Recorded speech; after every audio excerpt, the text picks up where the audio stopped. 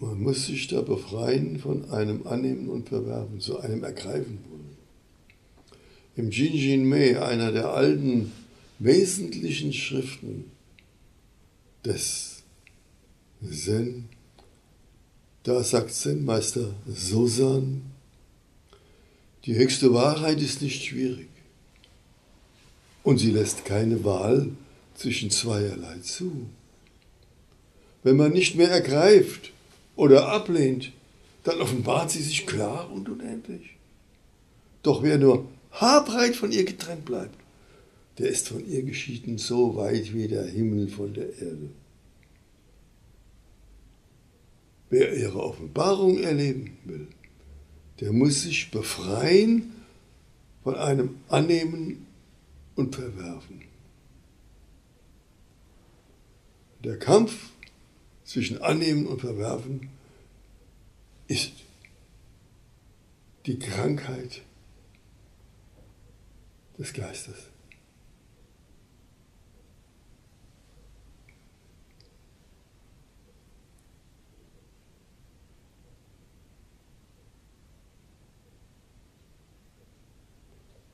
Wenn du auf das Ziel zugehst, entfernst du dich von dem Ziel. Das ist ein wesentlicher äh, Gedanke des Taoismus an sich und somit auch des Zen.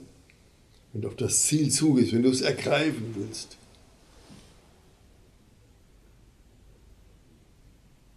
Sei wie die Jungfrau, die sich an den Waldrand setzt und ausruht. Und da kommt das Einhorn und sieht die Jungfrau, geht auf die Jungfrau langsam zu, legt seinen Kopf in ihren Schoß und streichelt das Einhorn.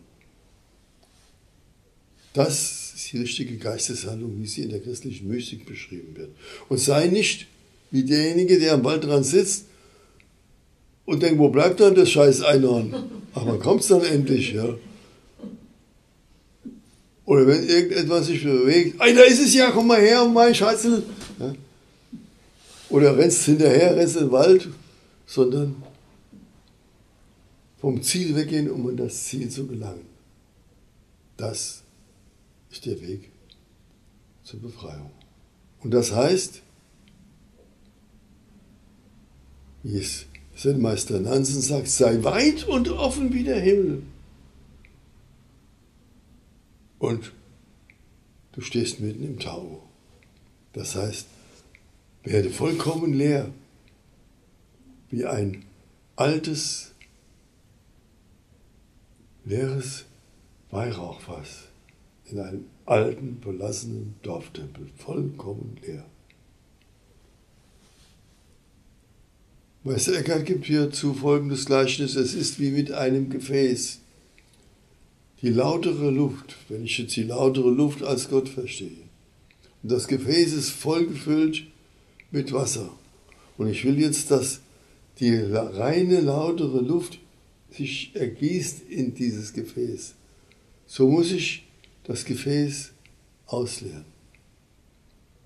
Und je mehr ich das Wasser ausleere, desto mehr kann die Luft hinein. Und wenn ich das Gefäß vollkommen ausleere, geht die ganze lautere Luft hinein. Werde leer von allem, was es auch sei. Der Geist ist von strahlender Klarheit erfüllt. Deshalb werft die Dunkelheit deiner alten, toten Begriffe fort, befreit dich von allem. Dies ist der wahre Weg zur Befreiung. Befreit euch von allem.